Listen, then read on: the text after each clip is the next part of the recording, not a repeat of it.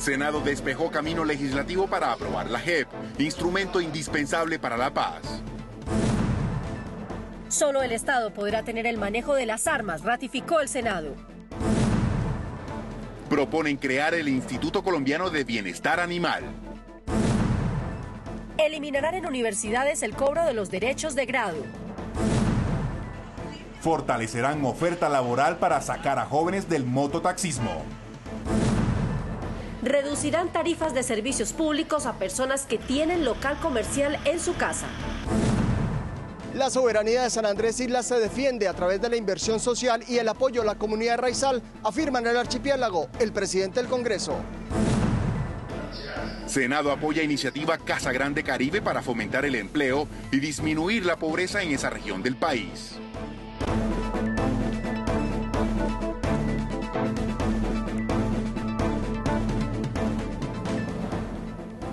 Bienvenidos una vez más a NS Noticias. Como siempre, les tenemos toda la información legislativa de la semana. El Senado despejó el camino para la aprobación de la ley estatutaria de la Justicia Especial para la Paz. Los senadores dicen que la votación se realizará el martes. Los 32 magistrados que conformarán el Tribunal de Justicia para la Paz investigarán necesariamente los delitos cometidos por guerrilleros, fuerza pública y civiles durante el conflicto armado. Una de las leyes estatutarias más trascendentales en la historia del país comenzó su trámite legal en plenaria. El proyecto de ley sobre la Jurisdicción Especial para la Paz fue discutido con rigor con el fin de brindar las garantías procesales. En el Senado de la República hay la voluntad para sacar adelante esta iniciativa columna vertebral del proceso de paz, por supuesto con las modificaciones que se requieran y sin duda pues eh, hoy creo que se destrabó la Justicia Especial para la Paz. Además, eh, eh, tenemos un artículo para que eh, las fuerzas militares tengan un tratamiento simétrico. Señor secretario, cierre el registro y anuncie el resultado. Los procedimientos de votación han sido dispendiosos, incluidos algunos impedimentos de senadores para evitar en el futuro demandas por inconstitucionalidad. Esta ley de la Justicia Especial para la Paz es una ley de naturaleza estatutaria. Son leyes muy especiales cuyo procedimiento es muy exigente. Están en el artículo 152 y siguientes de la Constitución. Pero antes de entrar a votar por el sí o por el no los artículos, hay que definir quiénes están habilitados o no para votar. Eso se llaman impedimentos. Para la mesa directiva es claro que la solidez del proyecto de la JEP se debe traducir en la consolidación de una paz estable y duradera. Recordemos que esto aquí es una reforma verdaderamente importante para el país y que cada uno de los impedimentos debe ser votado de manera individual y debe ser evaluado por, por el Pleno del Senado de la República y, votado de acuerdo a, su, a su proceder. El debate de los articulados y la votación de la denominada Jurisdicción Especial para la Paz se reanudará el próximo 7 de noviembre.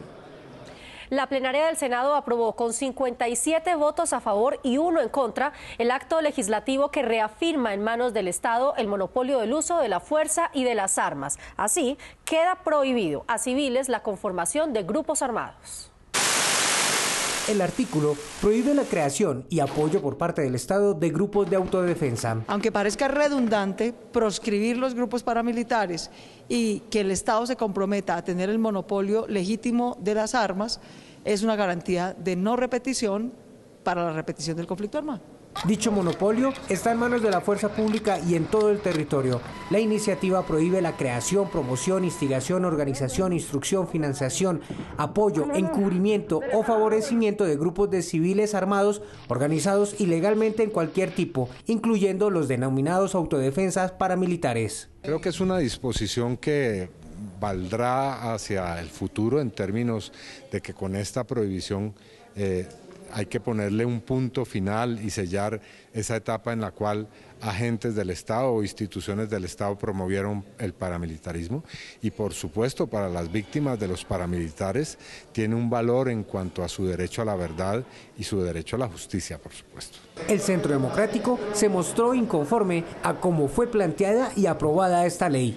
Esta fue aprobada por medio del Fast Track y hace parte de los acuerdos firmados en el Teatro Colón entre el gobierno y la guerrilla de las FARC. Y si usted es amante de los animales, le interesa esta nota. El Senado iniciará la discusión de un proyecto de ley para crear albergues en todo el país para darles alimento, vivienda y cuidado a mascotas abandonadas y a los animales callejeros. El Senado propone mecanismos de protección y cuidado para los animales de la calle que viven en condición de vulnerabilidad. La idea de este proyecto de ley es crear unos centros de bienestar animal para que en cada ciudad, en cada municipio de nuestro país, en los municipios de tercera a sexta categoría puedan tener un centro de bienestar animal regional con el fin de darle protección, hogar, alimento y medicamento a los animales de la calle.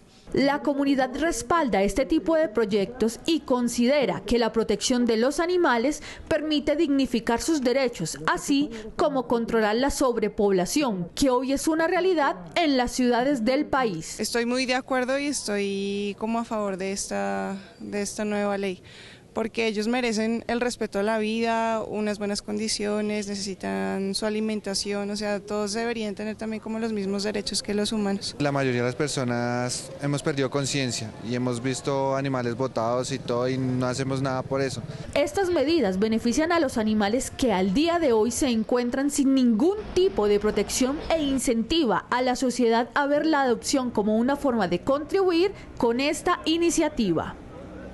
Buena noticia para los estudiantes y sus familias. Avanza en el Senado la discusión del proyecto de ley que eliminaría el cobro de derechos de grado. Eliminar el cobro de los derechos de grado en las universidades para poder recibir el título universitario.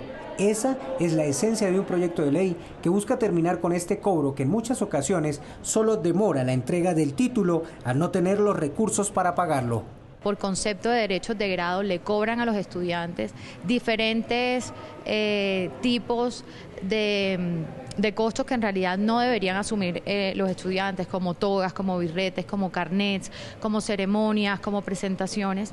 Y esto, por lo tanto, obstaculiza o de cierta eh, forma vulnera el derecho a la educación y el derecho al trabajo de los estudiantes colombianos. La iniciativa, de ser ley, obligaría a universidades privadas y públicas a no cobrar este dinero. Por supuesto que estamos de acuerdo con un proyecto de ley que le quite tantas obligaciones a los padres de familia para ver a sus hijos graduarse en, la universidad o en una institución de secundaria.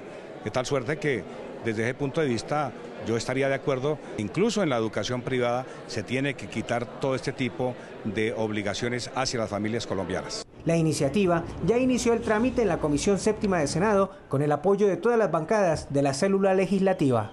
El Senado estudia fórmulas para abrir espacios laborales formalizados a miles de jóvenes que buscan en el mototaxismo una manera de conseguir su sustento diario.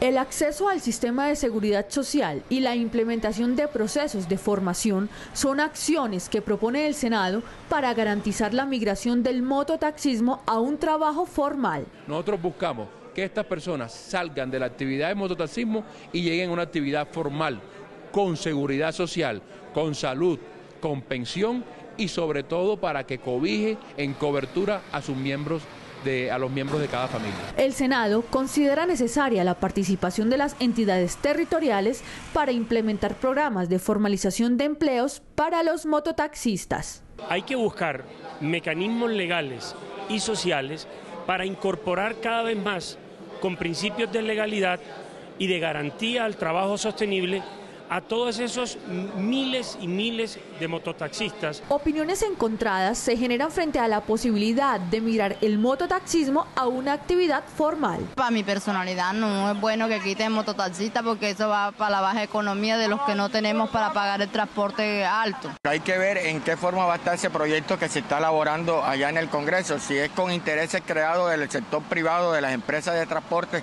para acabar el mototaxismo o es con un fin social de ayudar a la gente que están dentro de eso. Sí, estoy de acuerdo, pero tienen que garantizar garantizar los acuerdos que hagan primero, la seguridad social. Y para aquellas personas que adecuaron en su casa un local para montar un negocio, el Senado trabaja para que la tarifa de sus servicios públicos, que hoy está catalogada como comercial, sea cambiada a residencial.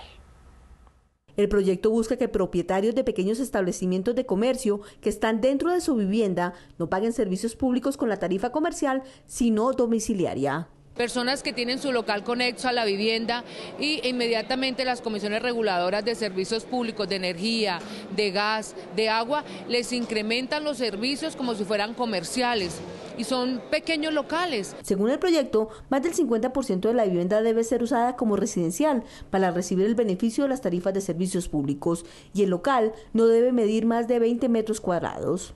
Pequeños negocios como esta sastrería serían beneficiados con este proyecto de ley donde sus dueños no pagarían servicios públicos como agua, luz o gas de forma comercial. La senadora Nora Tobar, autora del proyecto, asegura que este hace justicia con aquellos pequeños comerciantes que ven sus ganancias aminoradas por servicios públicos costosos. Sería muy importante porque eso le ayudaría a uno en los gastos, a, a rebajar los gastos motiva a los pequeños comerciantes porque pues realmente los servicios públicos tienen unos costos bastante altos. Este mes se cumplen cinco años del fallo de la Corte de la Haya que le entregó 75 mil kilómetros de mar territorial colombiano a Nicaragua.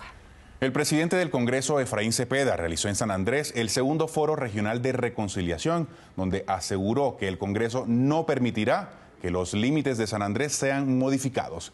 Ahí está nuestro enviado especial, Jorge Pulido. Marcela Yair, cordial saludo desde el malecón de San Andrés Isla. La defensa de la soberanía de la isla del archipiélago debe hacerse a través de la inversión social, del apoyo a las comunidades raizales y también la defensa del Estatuto Raizal, ha afirmado enfáticamente el presidente del Congreso, Efraín Cepeda, en el marco del segundo de los encuentros regionales que viene adelantando por todo el país en compañía de algunos senadores y algunos legisladores. Él se ha reunido aquí en esta última semana del mes de octubre para hablar directamente con las comunidades, escuchar sus preocupaciones y plantearle algunas soluciones desde el legislativo. Estos límites son los que prevalecen. Con mapa en mano donde se observan los límites de San Andrés estipulados después del fallo de la Haya reconocidos por el Instituto Geográfico Agustín Codazzi, el presidente del Senado aseguró que jamás el Congreso de la República aprobará una ley que modifique los actuales límites del archipiélago. A mí esto me parece fundamental, es la reafirmación nada más y nada menos de la soberanía, de que San Andrés, este hermoso archipiélago, es colombiano y que nadie le pueda tocar su territorio ni su subsuelo. Los nuevos linderos no serán reconocidos por el legislativo, hecho que para los raizales es un espaldarazo a los tratados Esguerra Bárcenas de 1928 que define los límites del archipiélago. Con este concepto, hablando de aguas, usted, ¿dónde empieza San Andrés? Empieza aquí. O sea, el, el, este mapa aquí sería esto así. Dice, colinda con la costa. Después del fallo del 19 de noviembre de 2012, donde fueron cercenados 75 mil kilómetros cuadrados de mar territorial, Cepeda Sarabia insistió que la soberanía del archipiélago se defiende a través de la inversión social y el apoyo a la comunidad raizal. Son varias las preocupaciones de la comunidad raizal aquí, el tema de salud, el tema de educación, también algunos temas de seguridad que se están presentando en la isla, pero sobre todo el apoyo que se quiere dar para que las pretensiones de Nicaragua no tengan sustento y fundamento. Deficiencias en la prestación de los servicios de salud, en la cobertura de educación y la tenencia de tierras por la comunidad raizal fueron entre otras las necesidades más apremiantes expresadas por los sanandresanos en el segundo encuentro regional por la reconciliación organizado por el presidente del Congreso, Efraín Cepeda. El gobierno departamental debe coger la salud en mano de nuevo y no alquilarlo a un segundo ni a un tercero, porque en esta forma no se está funcionando. La salud necesita una reforma completo en San Andrés, porque estamos muy, muy mal de salud. Aquí hay una pérdida de las tierras por parte del, grupo étnico raizal por muchas, por muchas uh, circunstancias. Si las tierras de los grupos étnicos son inembargables eh, y todo lo demás que sabemos, ¿por qué no hay una norma que establece o busca la forma de cómo hacer la enajenación de tierras aquí en San Andrés para proteger las tierras nuestras? Durante seis horas el presidente del Congreso se reunió con la comunidad, líderes, empresarios y representantes del turismo de San Andrés para conocer de cerca la realidad que vive la isla y llamar la atención con otros senadores del gobierno nacional para buscar soluciones a dicha problemática. Decimos queremos a San Andrés, queremos a San Andrés. Yo creo que los raizales prefieren que saquemos a San Andrés del corazón, pero que lo incluyamos incluyamos en el presupuesto general de la nación para mejorar su calidad de vida, sin agua potable en el siglo XXI. Eh, de manera que ese discurso vacío de la soberanía sobre San Andrés hay que llenarlo con inversión y con obras de desarrollo para mejorar la calidad de vida de los raizales. La comunidad advirtió que la sobrepoblación en la isla también ha generado nuevos problemas, por lo que es necesario que la Gobernación y Migración Colombia verifiquen el estatus de quienes residen en el archipiélago tanto el Congreso como el Gobierno Nacional son parte de la comisión que se va a sentar con el pueblo étnico raizal para definir un estatuto. Es un estatuto de derechos, es un estatuto de garantías y es un estatuto de sobrevivencia para este pueblo étnico que es riqueza de la nación colombiana. El Congreso de la República advirtió que seguirá acompañando a los sanandresanos en sus necesidades. Hoy el presidente del Congreso ha estado aquí acompañándolos y diciéndoles que el Congreso va a apoyarlos para que el Estatuto Raizal se defienda, para que ellos se defiendan y que Colombia esté también con San Andrés Islas. Es la información que tengo desde ustedes, desde el archipiélago más lindo de nuestro país. Marcela, Yair, gracias. Gracias a ti, Jorge. Polémica en el Senado por la presentación de un proyecto de ley para crear una sala especial en la Corte Suprema de Justicia que investigue y juzga a policías y militares por delitos cometidos en actos del servicio durante el conflicto interno. El proyecto de ley busca que las Fuerzas Armadas sean juzgadas por una sala penal militar dependiente de la Corte Suprema de Justicia y no por la Justicia Especial para la Paz. El objetivo de dicha sala es otorgar algunos beneficios a los militares sin impunidad. Nosotros tenemos que saber diferenciar los actos del servicio y los actos que son una deshonra al servicio militar. Esos deben tener todo el peso de la ley pero a quienes están investigados por los actos del servicio deben tener unos jueces que conozcan las circunstancias de modo, tiempo y acción operacional, que sean unos tribunales militares con toda la idoneidad, con toda la preparación, sin indulgencias. Otros senadores argumentaron que dicha sala no tiene fundamento porque quienes cometieron crímenes durante el conflicto armado deben ser juzgados por la JEP. Yo lo que creo es que hay un marco ya de justicia transicional en donde los militares van a poder ir militares que violaron los derechos humanos, militares que violaron la constitución, militares que abusaron de su función y en ese sentido ese es el espacio donde deben estar. El juez natural de las Fuerzas Armadas es la justicia penal militar. De acuerdo al proyecto de ley radicado por Centro Democrático, se pretende juzgarlos imparcialmente, brindándoles garantías y el beneficio de libertad condicional histórica sesión en el Senado de la República. Por primera vez fueron escuchados policías y militares víctimas del conflicto armado. Denunciaron que no reciben atención del Estado, según ellos, por pertenecer a un régimen que tampoco los beneficia. Episodios de la guerra como estos o como este fueron recordados en el Congreso de la República, donde por primera vez integrantes de la fuerza pública y sus familias víctimas del conflicto armado fueron escuchados. Ellos denunciaron que hoy nadie responde de manera oportuna por la reparación, indemnización y medidas de atención en educación, salud y vivienda. El Ministerio de Defensa y la Unidad Nacional de Víctimas, por decirlo así, se corren la pelota de lado a lado y ninguno quiere asumir aseguran que los integrantes de la fuerza pública están siendo discriminados por no ser víctimas civiles, pues la Unidad Nacional de Víctimas dice que existe un régimen especial para ellos y el Ministerio de Defensa dice que no hay plata. Si a ti te tienen que dar la indemnización doble, no te la dan, te la dan sencilla, que si tú adquiriste un porcentaje y puedes ascender al grado inmediatamente superior, tampoco te lo dan. Dicen que solo 17 mil víctimas de la fuerza pública están registradas en la Unidad Nacional de Víctimas, existiendo un subregistro de 230 mil, lo que implica una desatención a ellos y a sus familias. La verdad es que es preocupante porque hay muchas inquietudes, muchas preocupaciones. Por ejemplo, el caso de las mujeres que entregaron a sus hijos, a sus esposos, compañeros, hermanos, eh, a esta guerra sin sentido y que desafortunadamente hoy que no solamente su corazón está herido, no hay una atención hacia estas víctimas. Llevo 13 años con mi proceso, eh, he tenido que enfrentarme a situaciones difíciles, he tenido que pasar derechos de petición, las cuales siempre han sido evasivas, siempre han sido desestimadas. El senador Juan Manuel Galán, presidente de la Comisión de Seguimiento a la Ley de Víctimas, aseguró que trabajará desde el Congreso para que se reglamenten las leyes que buscan beneficios y reconocimientos a los miembros de la fuerza pública víctimas del conflicto. Y para que en la reforma a la ley de víctimas y corregir estos aspectos en donde las víctimas de la fuerza pública se sienten en desventaja por ser miembros de este régimen especial, pues puedan tener las compensaciones adecuadas dada la cuota de sacrificio que sus familias y ellos han asumido. Avanza en varios departamentos del país la protesta indígena que inició a finales de octubre. Senadores de esas comunidades le pidieron al gobierno cumplir los compromisos. Un llamado al gobierno hicieron los senadores para que se respeten los derechos de los indígenas y el cumplimiento del acuerdo pactado en el 2016. En ese entonces el gobierno se comprometió, entre otros puntos, a reconocer a los indígenas como autoridades ambientales en sus resguardos. Es el cumplimiento con el tema de la tierra, el cumplimiento con el tema de la educación, el cumplimiento con el, tema del saneamiento territorial que no se ha hecho y el cumplimiento con todo el tema de salud. estos son hechos planteados que no, acordados y firmados que no han sido cumplidos. El pasado 30 de octubre cientos de indígenas iniciaron una nueva protesta conocida como Minga.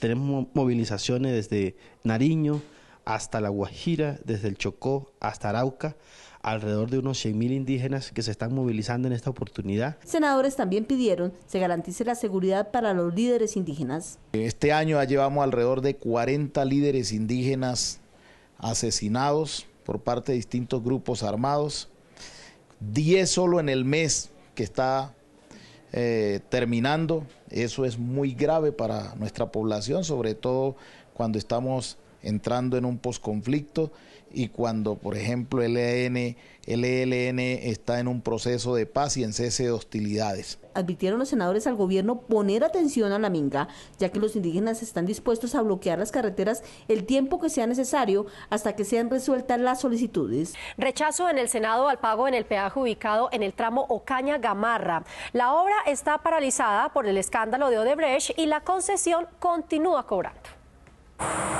17 mil millones de pesos ha recaudado el peaje que de Gamarra conduce a Ucaña, al norte de Santander.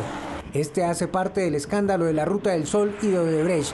Y aunque en la vía se paralizaron las obras, el peaje sigue cobrando. Por tal motivo, desde el Senado hacen un llamado para frenar este recaudo. Están recibiendo una plata, no están ejecutando ninguna obra en el tramo de la vía, pero también hay un escándalo de corrupción que implica un pago de coimas y de sobornos para lograr ese contrato. Por lo tanto, lo que se está haciendo con el recaudo del peaje es pagar un soborno, pagar una coima que es demasiado injusto y es eh, poner a los usuarios de la vía a asumir el costo de la corrupción en Colombia. En el Senado se prepara un debate de control político para establecer a dónde están yendo o en qué se está invirtiendo los dineros recaudados en este peaje si las obras están paralizadas. Senadores le pidieron al gobierno adoptar un plan de choque para contener el contrabando proveniente de Venezuela. El sector agropecuario es uno de los más afectados. El contrabando, uno de los principales enemigos de la economía y la salud pública, tiene en vilo al sector agropecuario. El ingreso de productos de baja calidad, que en la mayoría de los casos incumplen las normas sanitarias, demanda un mayor control de las autoridades y la promoción y protección por parte del Estado a la producción agrícola. La importación indebida de derivados lácteos, de carne, en fin, y que definitivamente no lo, no lo hacen en las condiciones de inocuidad y puede causar, además de un impacto eh, comercial, una grave afectación de salud. Y buscar una política de choque con qué? Con pleno, con mayor empleo, con mayor inversión, con apoyo a la agroindustria, con apoyo en microruedas, que la gente sienta la presencia del gobierno en la zona de frontera con mayor inversión social. El Senado trabaja en la formalización de políticas de protección, innovación, tecnificación e del campo que permitan proteger este importante sector y fortalecer medidas de control frente al contrabando que día a día se ha incrementado en el país. Senadores del Caribe ofrecieron su respaldo al proyecto Casa Grande Caribe, que promueve el Banco de la República para identificar inversiones de común acuerdo con los ocho gobernadores de esa región. La bancada Caribe del Congreso reiteró el compromiso de abrirle paso a la RAP Caribe, apoyando proyectos de inversión, programas sociales e iniciativas complementarias como Casa Grande Caribe. Bueno, la Casa Grande Caribe es una iniciativa ciudadana por promover la inversión en el capital humano de la Costa Caribe. El propósito de esta iniciativa que busca impulsar el Senado es disminuir los índices de pobreza a través de la generación de empleo y el trabajo mancomunado en los ocho departamentos Caribe. Pero hay que comprometer a los ocho gobernadores para que se articulen e invirtamos en el mismo objetivo, sacar adelante la nutrición la educación, el deporte, el talento humano de la región caribe colombiana. La iniciativa del Banco de la República y el Senado busca identificar inversiones para eliminar el atraso social en esta región. El compromiso del Caribe colombiano es la generación de empleo, el mejoramiento de la calidad de vida de sus gentes y yo creo que con estas estrategias y si las articulamos vamos en la dirección correcta en la búsqueda de ese objetivo. Para dar inicio a este proyecto se realizará el próximo jueves 30 de noviembre en Santa Marta la Cumbre Caribe por la Inclusión y la Transformación Social. El Senado también mira a la costa pacífica. La Comisión Legal del Congreso para la Protección de Asuntos Afro realizó su primera sesión en Buenaventura. Dos fueron los temas clave de la reunión. El primero, el fortalecimiento presupuestal para las dos únicas universidades del Pacífico y la segunda, becas universitarias distintas al programa Ser Pilo Paga programa que permita que los muchachos puedan acceder a la educación superior con una beca, que no tengan esa talanquera. Yo creo que es un tema importante. Inclusive se habla de un millón de becas que puede costar 2.5 billones de pesos, que sería una muy buena inversión del Estado colombiano. Y seguimos con ambiente de mar y es que veíamos muy contento ahorita a nuestro compañero Jorge Pulido desde San Andrés y es que este sigue siendo uno de los destinos preferidos del turismo internacional en toda Latinoamérica. Y él entonces nos preparó la siguiente nota con la que también los invitamos a que estén con nosotros la próxima semana. ¿Nos vemos? Claro que sí, nos vemos. Hasta pronto.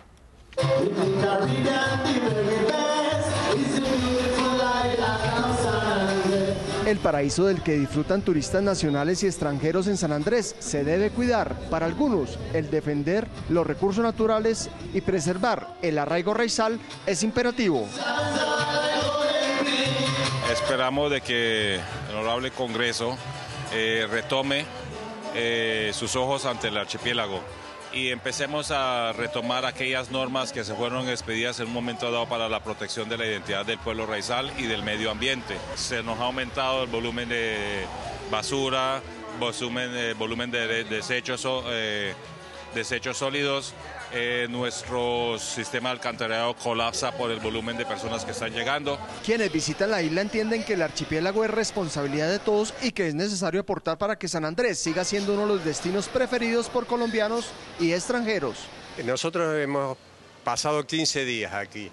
Me parece que ustedes dependen muchísimo del turismo y es una industria que la tienen que cuidar mucho, con la limpieza de la, de la isla con que la gente sea amable. Nosotros hemos sido muy bien atendidos por los nativos de aquí, por aquí, muy bien atendidos.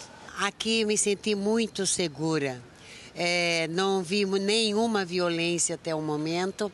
É, a parte, o povo, as pessoas daqui são muito solícitas, é, cuidam um do outro. Isso eu achei maravilhoso. San Andrés é uma das de los sitios en los cuales eh, se puede disfrutar placenteramente. En las playas son hermosas, eh, la biodiversidad es impresionante. No botar basuras, evitar quemas en bosques, proteger los corales, preservar la naturaleza, cuidar la fauna y flora y no contaminar, entre otras obligaciones, debe ser una constante no solo para los sanandresanos, sino para quienes habitan en los 32 departamentos de Colombia.